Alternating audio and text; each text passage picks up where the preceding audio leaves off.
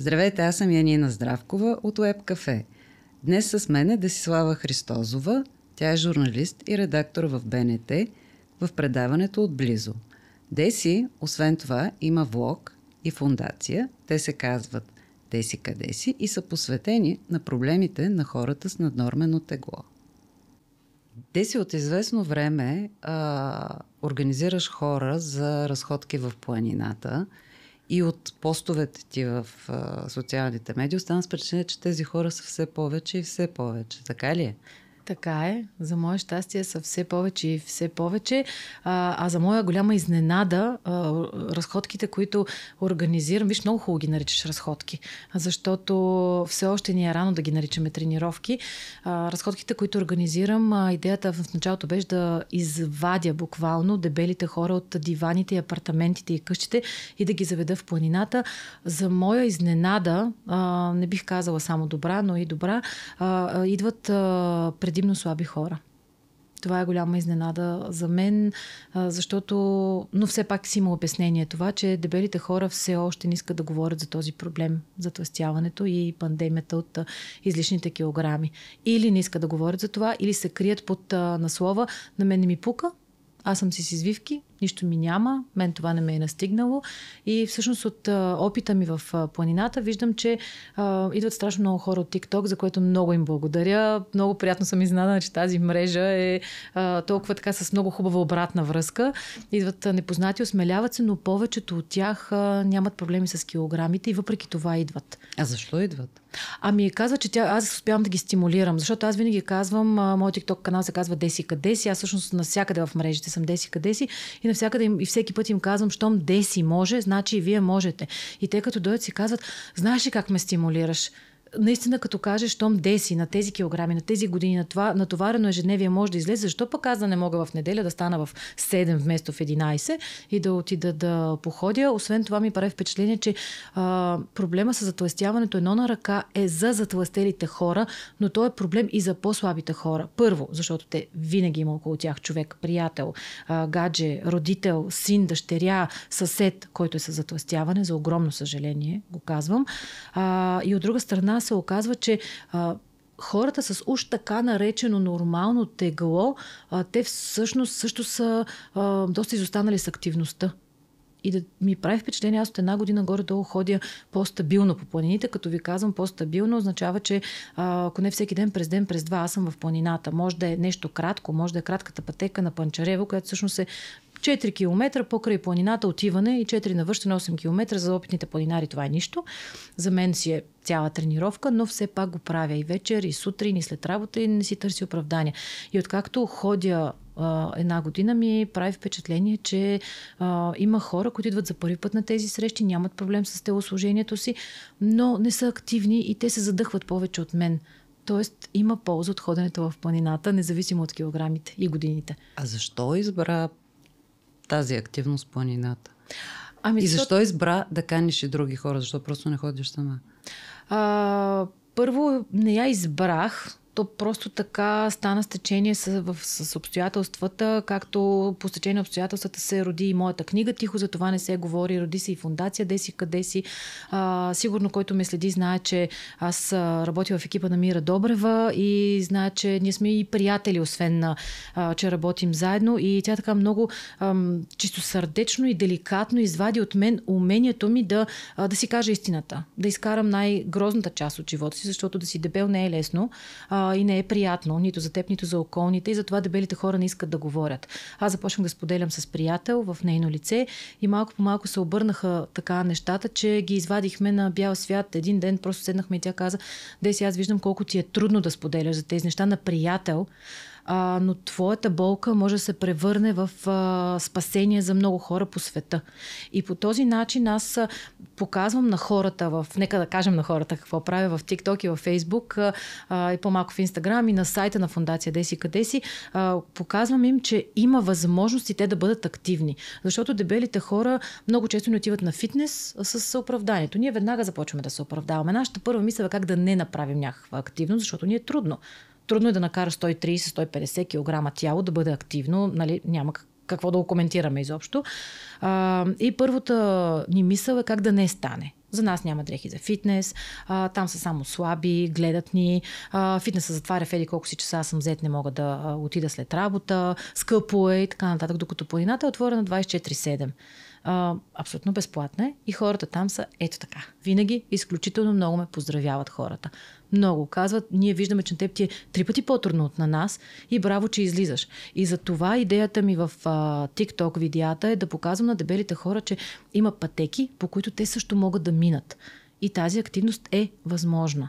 Оправданията. А какъв е резултата, примерно, за теб от тази една година на тази активност? На активно ходене на планина, физически и емоционално? А, чисто физически 20 кг надолу но с режим. Нека да бъдем честни, че няма как да стане без калориен дефицит. А, по-важно е обаче а, горния етаж да се оправи. Там е по-важната битка всъщност, защото аз съм зависима към храненето. И повечето затластели хора са зависими, но не си го признават. Те казват, аз нямам проблем. Напротив, затластелите хора имат проблем. Затластелите хора не искат да си го кажат, но никой не иска да бъде дебел. Никой не иска да бъде. И всъщност емоционална емоционалният прогрес е, че аз все повече се отварям а, да разказвам за тези неща. Все повече хора идват в моята кауза на Деси къде си за превенция на затластяването и те се осмеляват, а, пускат ми видеа, пускат ми снимки, срещат ме пътеките и казват, о, днес излязох с жена ми, която е с свръхтегло, успях да я накарам, защото и казвам, хайде Деси отиде, хайде ние да отидем. А, и това на мен ми дава сили да продължавам. Дори в едно от видеята в TikTok бях казала как тези хора са моя наркотик. Защото ако прочетеш книгата ми, тихо за това не се говори, в нея а, наистина истината за битката с килограмите. Редактор е Мира Добрева, моя голяма ценност е тази редакция, но а, там аз казвам, че моят наркотик е хляба което е така. Всеки си има някаква зависимост. Наистина, моята е към хляба, към тестените изделия. Какво но... значи зависимост? Всички ядем хляб и сме зависими от храната, защото без нея няма да оцелеем. А, зависимостта към храненето е като зависимостта към наркотиците и към алкохола може да ви звучи, ако го чувате за първи път, може да ви звучи абсурдно, но всъщност е така, защото ние сме точно като наркомани. Ако ти можеш да изядеш две филии хляб и да кажеш, ох, тежко ми е, аз изяждам две филии хляб и казвам, тежко ми е, но без да мисля, посягам към трета, към четвърта, към шеста, към осма. Някои повръщат, някой им става лошо, но продължаваш да тъпчеш и спадаш в едно много странно състояние, като една черна дупка тъпчеш, тъпчеш. Има го този разказ по-подробно в а, моята книга. А, и после, когато свърши голямото тъпчене на някакви пакети с бисквити, гевреци или пък шоколади, всеки е различен, а, изведнъж се усещаш какво си направил и започваш да се самообвиняваш. Това е голям проблем на зависимостта, защото ти като се самообвиняваш, започваш да се мразиш. Казваш си, бе, майната му, така и така, за нищо не ставам, дай ще се наям още. А, като е стомахът ти но по-скоро психиката ти е като един кладенец, в който хвърляш, хвърляш, хвърляш и там винаги е празно. Това е някаква празнина, която всеки от нас запълва. И по същия начин и с наркотиците и с алкохола. Това случва ли ти се откакто ходиш на планина? Тоест успя ли да компенсираш тази зависимост с тонуса от планината, например, с новата зависимост планина? Вижте, трябва да ви кажа, че зависимостта винаги остава в теб. Говорила съм с много хора, които са преодолели проблема, с много хора, които са отслабнали и те винаги са на ръба да се върнат обратно. Това е черната истина, която трябва да си я кажем. Ние наистина трябва да сме в постоянната битка. Но има надежда да бъдем на ръба да не паднем долу в пропаста отново, защото ние дебелите хора постоянно падаме в пропаста. Ние постоянно си връщаме килограмите, постоянно се мразим, после пак започваме ентусиазирано. И това, а, това е не само личен проблем. Това е социален проблем, това е економически проблем, а, това е обществен проблем, проблем е на семействата ни, а, на децата ни, на колегите ни, защото а, всичко, всички ти си засегната от моята дебелина. Защото ако аз един ден продължавам да качвам килограми и се разболея, защото неминуемо затластяването води до разболяване на органите, аз ще бъда инвалид, ти ще плащаш моята социална пенсия. Това те засяга и теб това засяга и твоите деца, защото те плащат моята социална пенсия, вместо аз да съм активна и да работя. Затова стимулирам а, дебелите хора. Никога не е късно. Никога не е късно. В книгата ми има пример на 60 годишен човек, който е бил 130 кг на 70 години, той вече е 70 кг и е ултрамаратонец. Щом той може и аз мога и ти можеш, за да може това общество да върви напред Защото, за съжаление, в момента то много е застояло относно затластяването. Инфлуенсърството сред хората с извивки, както често се наричат те, докато ти казваш, ти говориш за дебели хора, а, отива в другата крайност. Body positivity. Аз се харесвам такъв какъвто съм. А, няма проблем в това да съм с извивки. Стига се до а, инфлуенсъри, които във връзка с това, което казваш за економическата цена на затластяването, които смятат, че е съвсем нормално да кажат на глас, че трябва да получават безплатно две места в самолета, защото не могат да се съберат в едно вместо да си плащат второто. Което води до това, че останалите пътници ще платят това място и ги настройва срещу тях. Резултата в крайна сметка не е позитивен за никой. Факт. Трябва ли да, да, да, да има тази друга тенденция на body positivity? На това, че ние си харесваме телата такива каквито са и вие не дейте да ни съдите и да ни стигматизирате, защото ние сме щастливи. А, виж сега, аз принципно съм а, изключително против plus size моделите.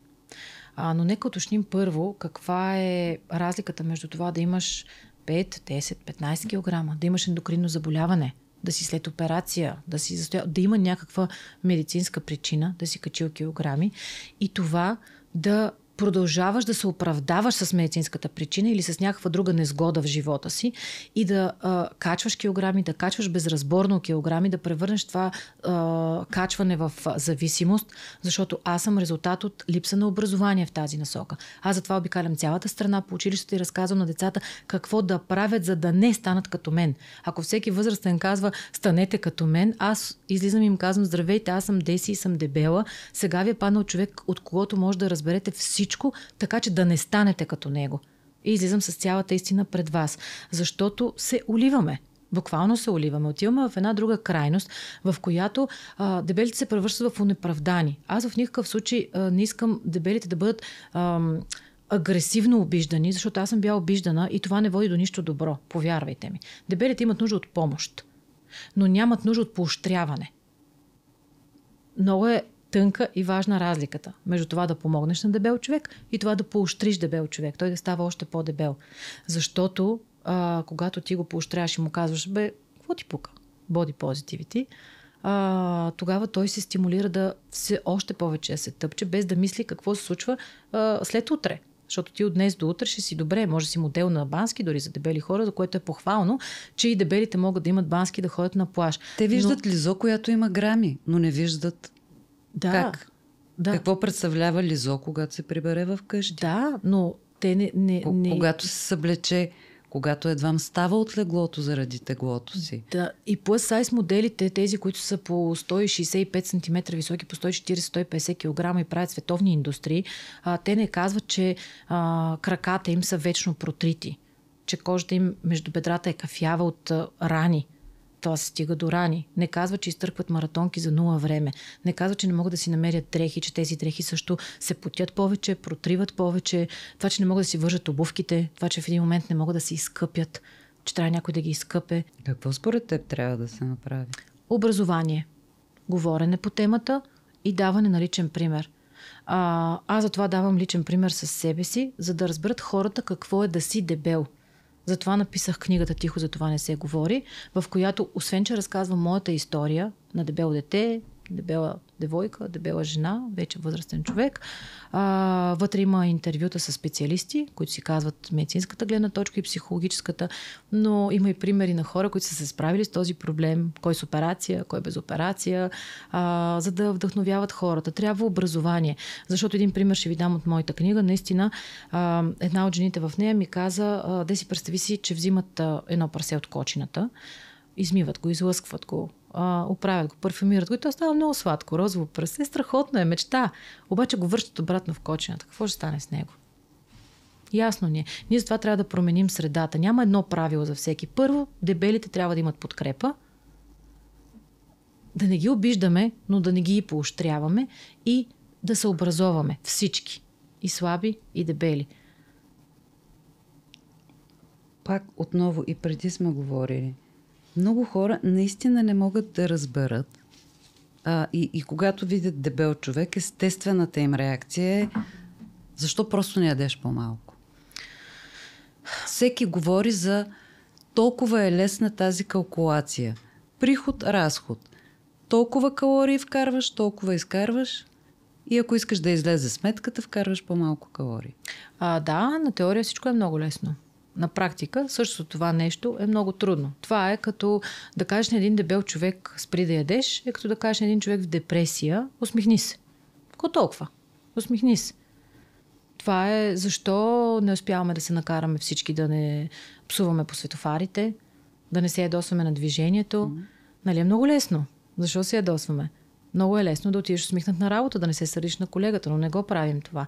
На теория нещата са едни, на практика са други. И когато ти си развил зависимост към храненето а, и когато тя те успокоява, храната, и ти вече я ползваш едва ли не като хапче, а, много трудно се, се отвикваш от това хапче.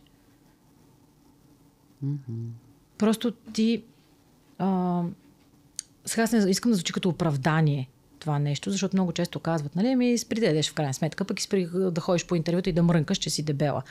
А, затова обяснявам на хората как борбата е вътре в теб.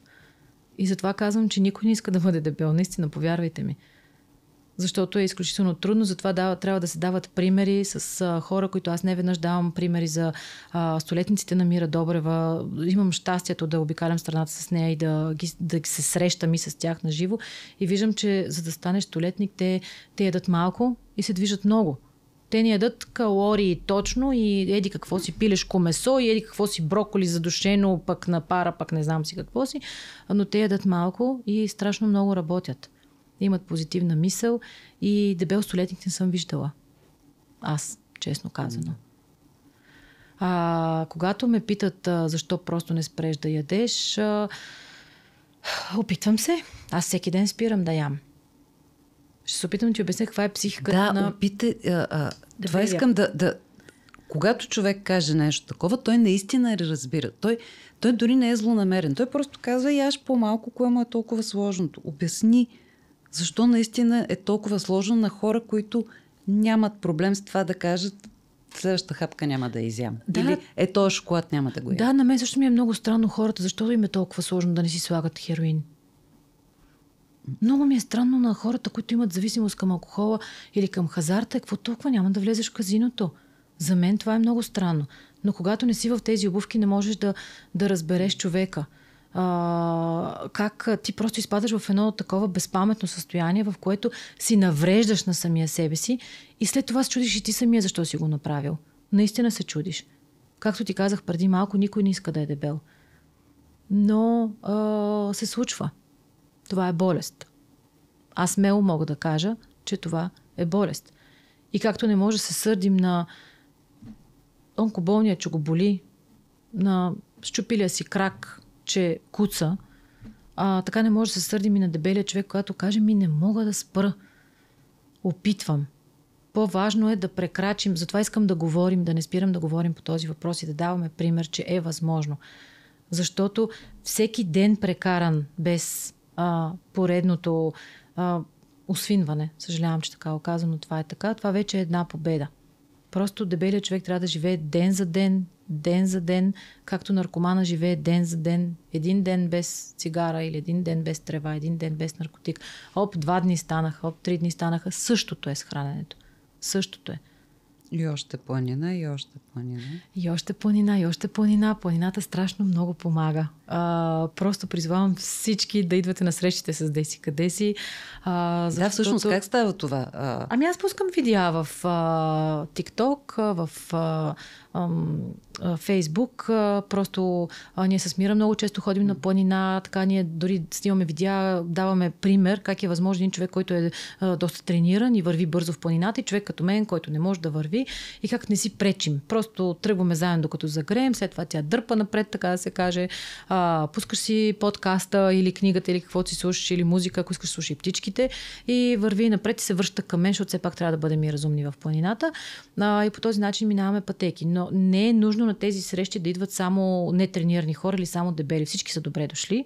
А, как става? Просто когато вървяхме веднъж планината, аз спрях пред едни табели, а, се разгневих от това, че табелите не са а, достатъчно адекватни на това, за знам, окей, виждам посоката, но не виждам до, колко време ми трябва там или колко ми остава като разстояние. И един дебел човек не може да го прецени това.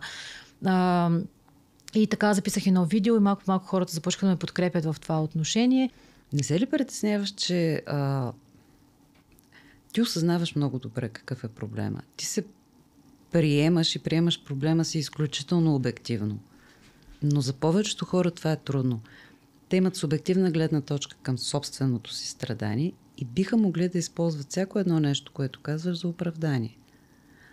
Аз съм зависим, аз а, а, не мога да спра да ям и съответно няма да опитвам, защото имам зависимост. Да, аз бях самата такава до, до съвсем скоро. Аз с това започнахме разговора. Mm-hmm. Дебелият човек в съзнанието му е първо как да не направи нещо, което е трудно. Същото е като при наркоманите и при всички останали зависими. А, просто първата ти реакция е как да не го направиш и как ми то няма смисъл, аз така и така съм си такъв. Напротив, има смисъл. Има смисъл заради вас, има смисъл заради децата ви, има смисъл заради обществото и заради това, че Господ ни е пратил на тази земя, за да го живеем този живот, а не да се превръщаме в едни меби, които просто се пълнят и пълнят и пълнят и правят нищо. Има смисъл да се правят тези неща. А, и просто има нужда от а, мотивация при мен много трудно дойде мотивацията. На мен също много ми се спи сутрин в 6 часа, повярвай ми. Особено когато съм била на работа и на следващия ден. Но това е една, един трик, такъв сега ще кажа нещо от тези срещи. А, един трик е в а, който а, си пишем, а, нали, аз казвам, ще отида там, в 7 часа ще бъда там и аз сутринта като стана в 5 и половина казвам, Господи, защо се оговорих сега с тези хора? Обаче не мога да ги излъжа, трябва да отида. А ти и за идват... това го правиш. За това викаш хора, за да имаш мотивация да станеш. Иначе ако си сам можеш да, да се откажеш. Знаеш ли колко път съм удрила телефона и съм го обръщала и казвам, не, няма да отида днес. Много често. Много и е много лес. хора го правят. Да. И аз като оговоря срещи казвам, не, аз не мога да излъжа хората, вече имам ангажимент към тях. Идват 10 човека и 9 от тях казват, тази сутрин единственото, което си казвахме, защо казах, че ще отида.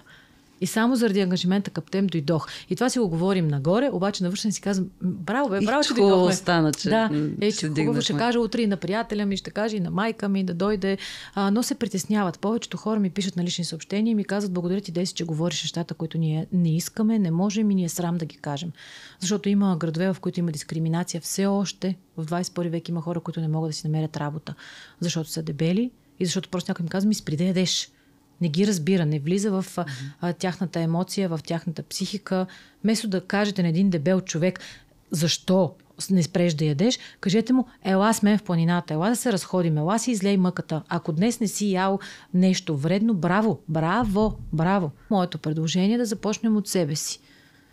Първо да си признаем, че има проблем, и а, ще дам един пример с а, едно момче, мъж а, Цветан се казва той, бивш, а, бивш хазартно зависим. А, Мира Добрева го снимала в един документален филм Въртележка. Непременно гледайте този филм и ще разберете всичко за зависимостите. А, там той каза, има три стъпки на излекуването, на изваждането от това, от този ад. Първата е да си го признаеш, за мое щастие стъпих вече в тази стъпка. Втората стъпка е да, за, да си готов да посрещнеш последствията от това. И това е моята кауза. Гледайте филма Въртележка, за да разберете коя е третата стъпка. Много ценен филм. Просто е събрано всичко, което вие трябва да знаете за зависимостите в него.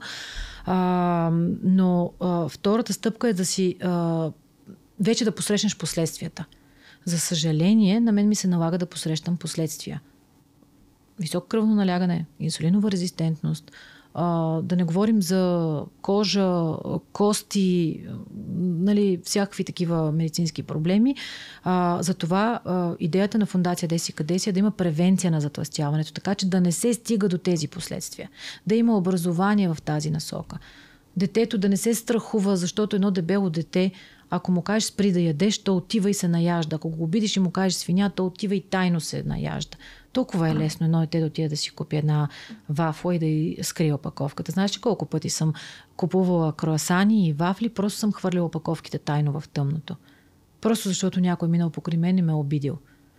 И ако на момчетата психиката им, това ми прави впечатление, като обикалям училищата и си говоря с децата, ако момчешката психика е да му кажеш, ти си дебел, грозен, никой няма да те приеме, отивай в фитнеса и то се надъхва и отива в фитнеса, при момичетата е точно обратното. Ще се скриеш, почне да яде. И аз като ходим казвам, вие знаете ли, защото веднъж така едно момче казва, госпожо, аз ако ви кажа на вас свиня, вие нямате ли да, няма ли да отидете в фитнеса?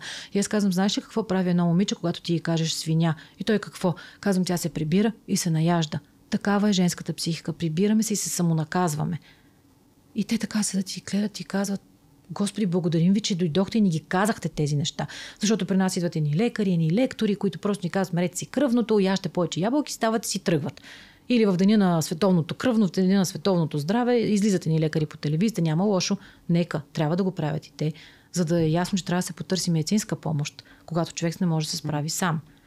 Но някой трябва да им каже истината на тези деца какво представлява да си дебел човек, колко е трудно да се сгънеш, да изкачиш стълби, да не можеш да си намериш дрехи, да не можеш да седнеш в, на седалката в колата, да не можеш да седнеш в лифта, да заседнеш в асансьора. Ние преди малко с теб заседнахме mm-hmm. в асансьора на вашето студио. Аз умрях от страх и помниш какво ти казах? Не ме е страх, че ще падна, не ме е страх, че ще умра в асансьора. Страх ме, че ще се наложи да ни извадят през такава дупка и аз ще умра не от асансьора, ще умра от срам, че твоите колеги ме теглят оттам. Така ли беше? Да. И едно момиче се прибира. И децата в училищата ми казват, благодарим ви, че ни го казахте, защото тези, които имат вече проблеми с килограмите, казват, ми да, ние не сме сами. Не сме сами. Щом Деси може, значи и ние можем. Тя е 130 кг, ходи по планини, ми аз съм 90, ми аз значи мога. След като тя може да ги минава тези пътеки, защото не е нужно пък всички да ходим на вихрен и на кончето. Има си хора и за кончето, има си хора и за леко, има си хора и за панчарево. Не? А пък тези, които нямат проблеми с килограмите, ми казват, благодарим ви, че ни казахте, защото ние не знаем какво е във вашата душа. И ние повече никога няма да обидим човек, дебел човек. А един необиден дебел човек е един процент шанс той да стане здрав човек. Защото дебелината е заболяване. Опиши по-детайлно с с извинения всички гадости, какво е да си дебел за хората, които не могат да си го представят, а които само гледат отстрани и казват ми яш по-малко и се оправиш. Сега тук служете една червена точка за хората, които не могат да чуят бруталната истина, да я чуят. А, дебелият човек го боли почти денонощно. Ако не го боли тялото, го боли душата. А, дебелият човек а, не може да си обува чорапите. Ти виждал ли си дебел човек как си обува чорапите? Той не може като теб да си сгъне крака и да си обуе чорапа, сяда на леглото, вдига единия крак, обува единия чорап, сваля го, обръща се, вдига другия крак. По този начин обува чорапите си. Това не е нормално. Дебелият човек му се развържа обувка. Моите приятели много често ми казват, чакай ще клекна да те завържа. Защото са вече са ми приятели, вече знаят, че е трудно и дискретно клякат и а, ми завързват обувката. Защото сгъването на дебелия а човек ти е трудно. умираш от... Умираш от срам. Защото си млад човек. А дебелият човек става червен много бързо. Дебелият човек, когато а, пътува, а, например, ние ако пътуваме с теб, а, ти не можеш да ми дадеш дреха, ако аз изцапам нещо или се изпотя. Докато иначе приятелки като пътуват много често разменят дрехи, нещо, някоя се намокрила, нещо се случва, трябва да си носи. Неговия багаж винаги е много по-голям от на нормалния човек. Ако за три дни ти ще се побереш такава раничка, аз ще се побера в ето такъв сак, който отежнява още повече обстановката с а, ходен, с пътуването. А, ако искате да идете на метеорите в Гърция, много ще си помислиш дали да тръгнеш с мен. Защото аз буквално мога да умра там от жегата, от катеренето. Много трудно катеря, защото аз съвсем наскоро пуснах едно видео в TikTok, че най-страдалата част от тялото на дебелия човек са краката. А, защото краката на дебелия човек първо са, те са по-сплескани, защото носят а, по-голяма тежест а, и повече болят. И дори нагоре в планината, ако ти е трудно да вървиш, защото се задъхваш, но окей, ще спираш, ще почиваш, надолу ти трябва да слезеш, няма как да не слезеш, а всяка крачка надолу е удар в коляното. Просто удар в коляното от болка, защото тези 130 при мен, при някои са 150, при някои са 100 кг, но пак са много. И всички тези килограми падат върху коленете, набиват се пръстите. Това всичко е болка, рани, турмоз над кожа, над кости. А, това са последствията от а, дебелината. И затова, докато имате време някой да ви каже спри да ядеш, той не ви казва гладувай и умри от глад. Той ви казва, повечето хора са добронамерени, когато казват спри да ядеш. А, имат предвид да се вкарате в, едно, в един здравословен начин на живот. Има лекари, които могат да помогнат. А, и има примери, които могат да помогнат. В никакъв случай не започвайте нещо, което пробвам, защото на пенка така е хубаво я повлияло, да, и аз да го започна. Това така не се прави. Правят се изследвания, да, но си говорихме за още конкретни примери. Между Вижте другото, ме, когато на... някой ти каже спри да ядеш, той няма представа, че ти самия страдаш а, много повече, отколкото той може да си представи с точно тези примери. И въпреки това, не ами можеш да, докато да не си в да обувките на другия, не можеш на 100% да го разбереш и слава Богу. Слава Богу, че не сте в моите обувки. Защото преди време имаше едно от тези телевизионните предавания, където едно дебело момиче го оплюваха и казвах, о, кръстя се да не стана дебела като нея. И аз казвам, да, кръстете се да не станете дебели като нея. Защото вие не знаете какво страдание е това. И емоционално, когато те обиждат, и физическо, когато те болят коленете, когато наистина не можеш да се сгънеш, когато се къпеш и не можеш да стигнеш всяка част от тялото си. Ето грозна истина. Защото има толкова дебели хора, че не могат да стигнат всяка част от тялото си, за да се изкъпят. А, потиш се повече. Протриваш дрехи, като седнете в една кола отзад трима. С дебел човек няма как да трима да седнат отзад. Багажа е повече. Ето ти даде пример с самолетите също. Никой не иска да седи до дебелия човек. Да, повечето в коментарите това пишат. Да. Гледам да не... Моля се да не ме сложи до дебел човек, защото си ползвам половината място. ми да. Той ще се раз... Ми да. Ми той и дебелият една страна е прав, нали, че има нужда от място, ма и слабия па е прав. Той пък какво е виновен, че аз съм дебела. Ти какво си виновна, че аз ме ми трябва два колана. Но трябва много да внимаваме с това с коланите. Аз затова апелирам за превенция, защото превенцията ще доведе до това да няма хора като мен. Да.